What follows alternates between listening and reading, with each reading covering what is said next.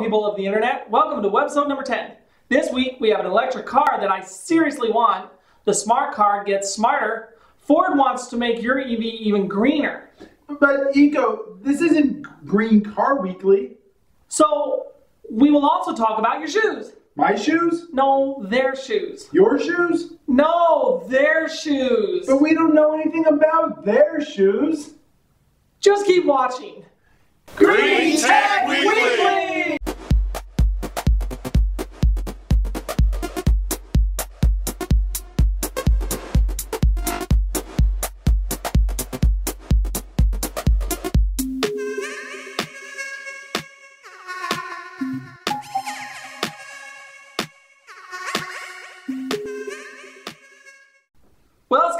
We made it to the big 1-0. Yeah, and I'm exhausted.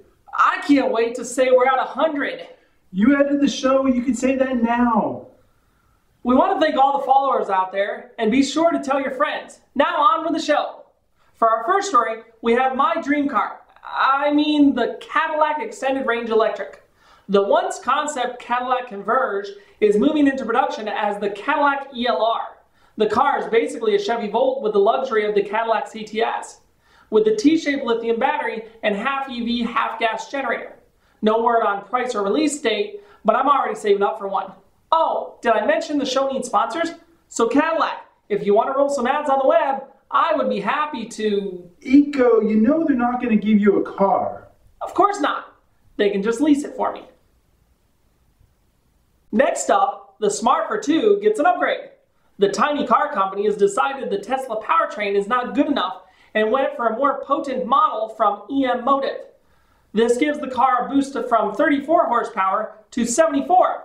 This means that they can now go from 0 to 60 in 13 seconds instead of the slower 23.4. The battery pack got a boost too, with a new range of 87 miles to a charge. They plan to see this new model in 30 countries, but they haven't told us the price yet. Is the US one of the lucky 30? The web doesn't know.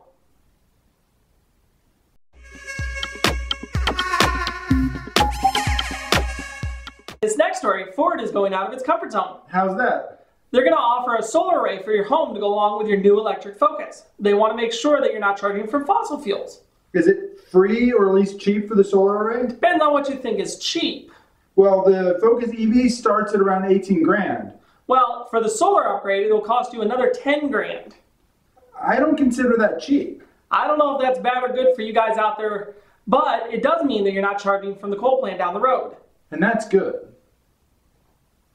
This next story is quite amazing. The Schlachte, Schlag, Schlag, Schlachtenspe, oh, that thing made by Bosch, is the record-breaking electric vehicle designed to get a thousand miles per charge. The best part of this is they use existing rechargeable battery technology. What? But but how?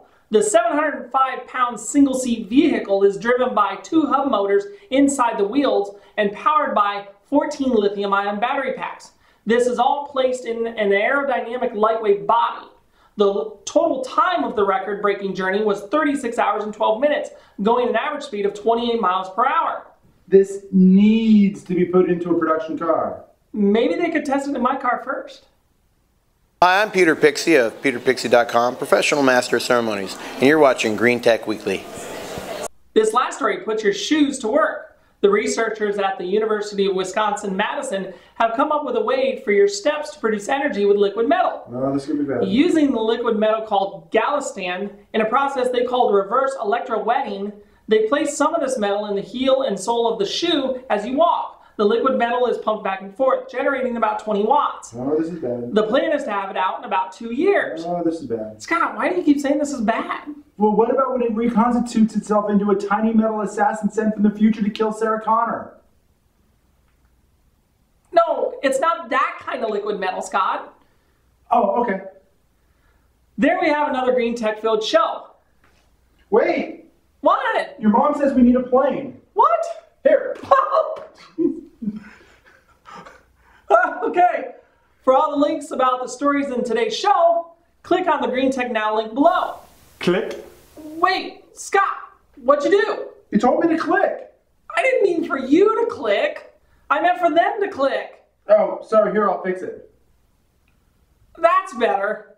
Be sure to follow us on Facebook and Twitter, and remember to rethink it green. I rethink it green.